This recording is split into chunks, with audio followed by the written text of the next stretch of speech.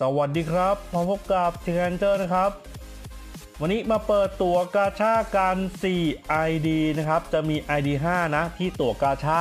ไม่ครบนะครับอ่าตั๋วมาจากตาราง login พิเศษนั่นเองนะ ครบเรียบร้อยแล้วนะครับ Ruby ไม่เหลือแล้วนะ สัก ID เดียวนะครับ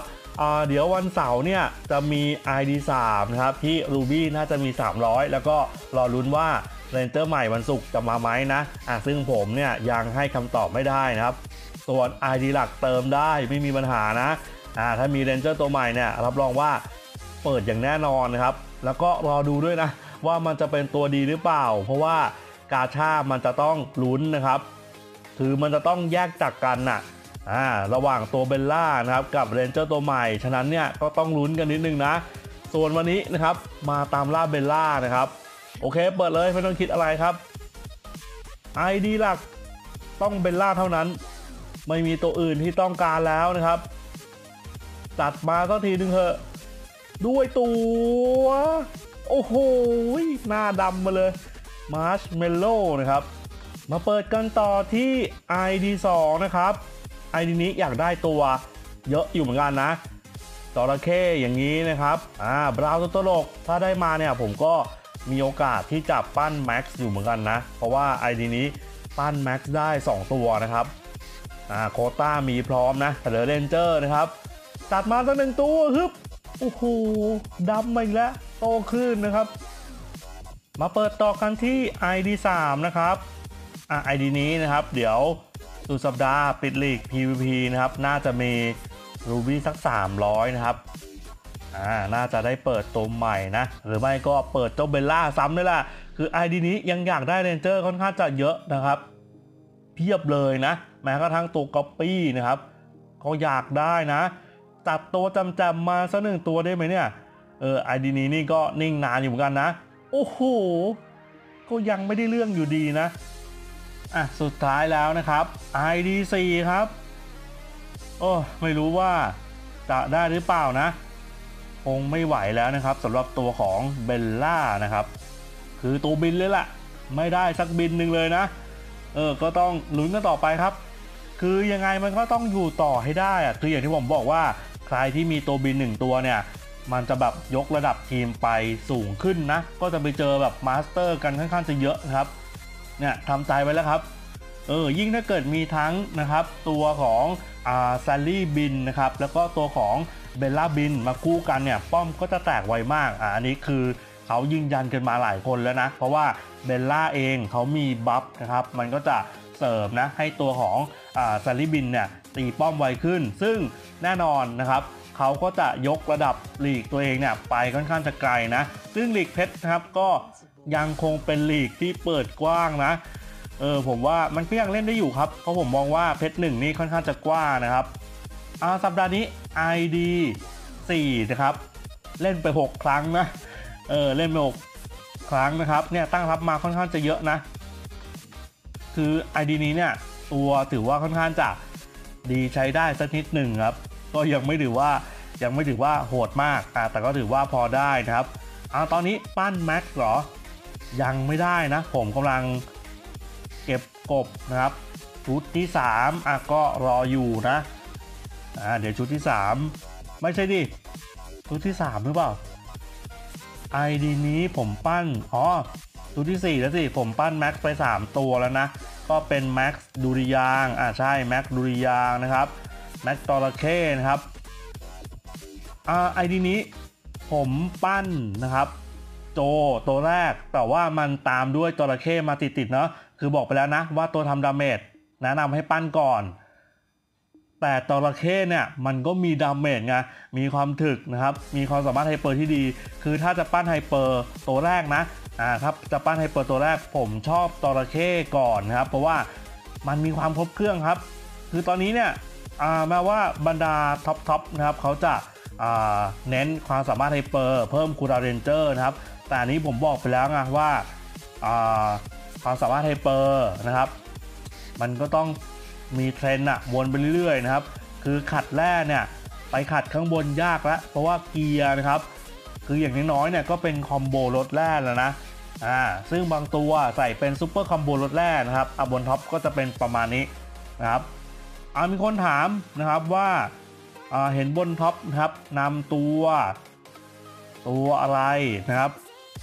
เจสสิก้ากับลีน่าใช่ไหมเจสสิก้าอันนี้ง่าย ๆ เลยครับ เรื่องของความสามารถ hyper นะ combo ขัดขวางการสร้างกองทัพศัตรูนะครับตัวนี้ผมเคยนำกลับมารีวิวแล้วนะครับ skill 800 จุดนะคือมันข้ามไปยังกลุ่มหลังนะครับค่อนข้างจะลึกครับ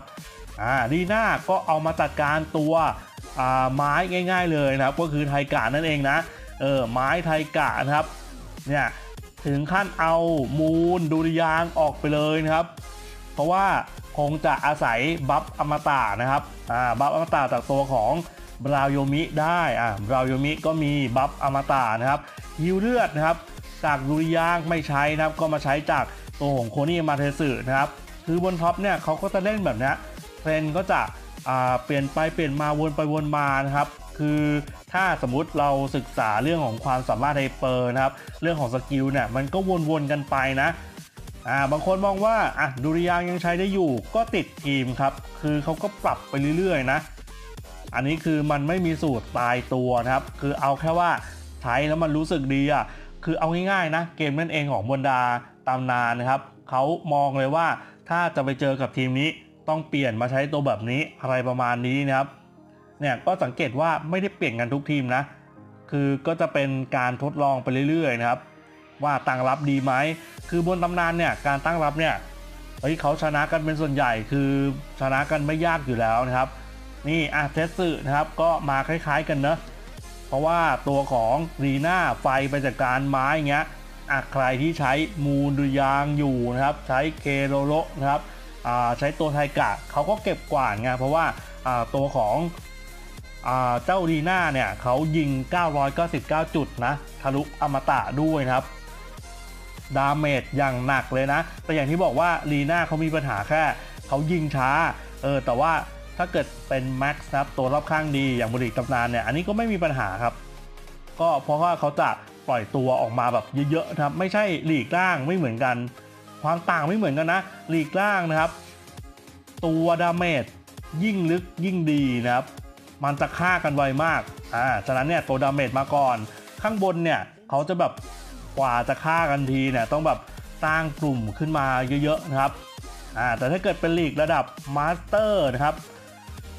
เพชรหนึ่ง master สาม master สองครับเขาก็จะ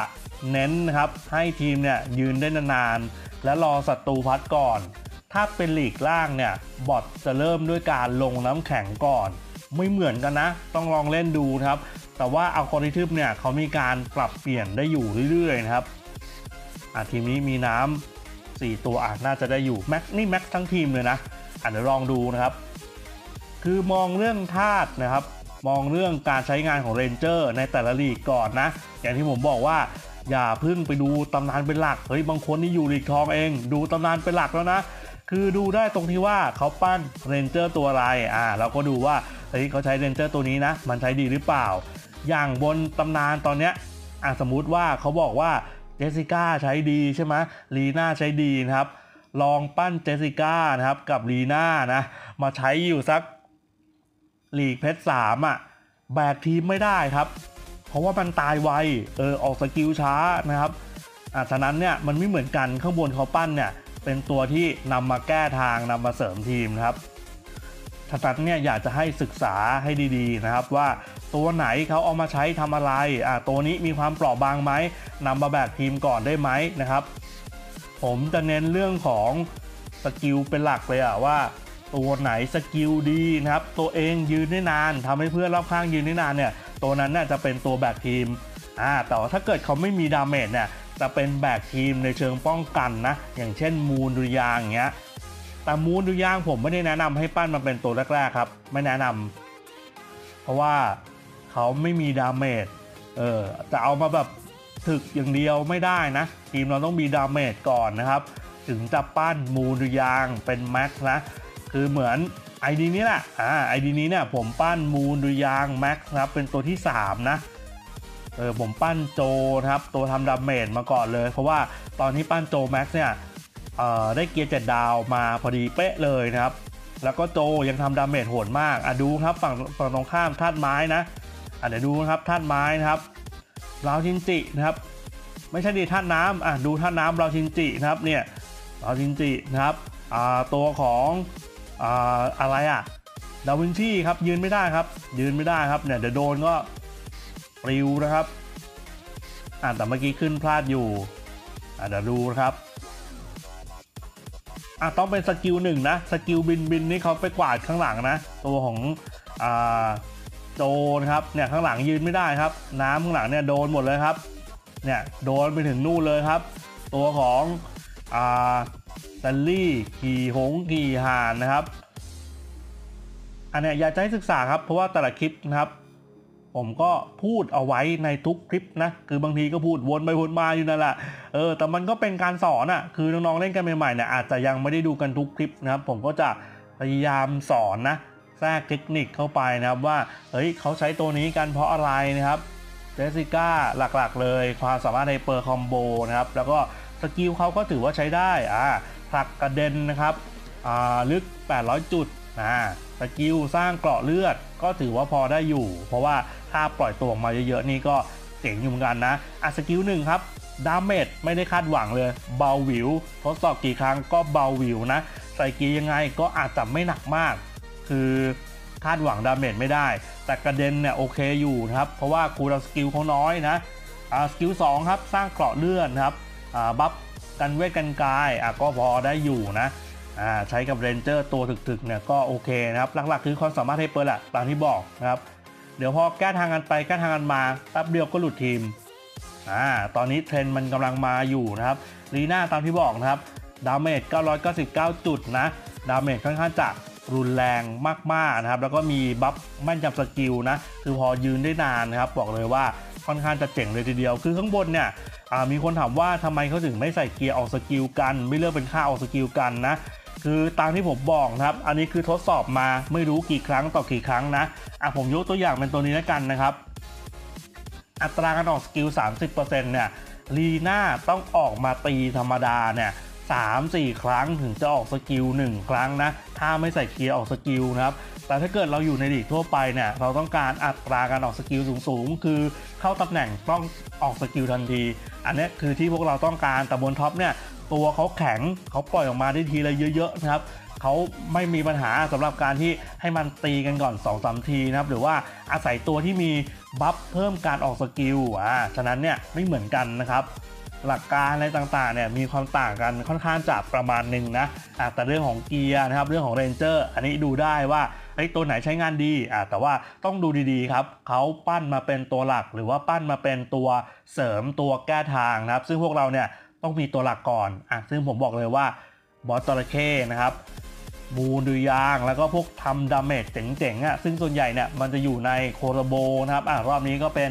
ไทกะนะครับ เก่าๆก็เป็นอาตัวนี้ก็ได้ครับ damage ก็พอได้นะ แต่ว่าเน้นความปวดซะมากกว่า อะวันนี้ประมาณนี้ครับ ก็ไปต่อนะเปิดตั๋วกาชาไม่ได้ก็ต้องไปต่อครับ ยังไงก็เล่นกันยาวๆอย่างแน่นอนนะ โอเคสำหรับวันนี้ก็ลาไปก่อนครับ สวัสดีครับ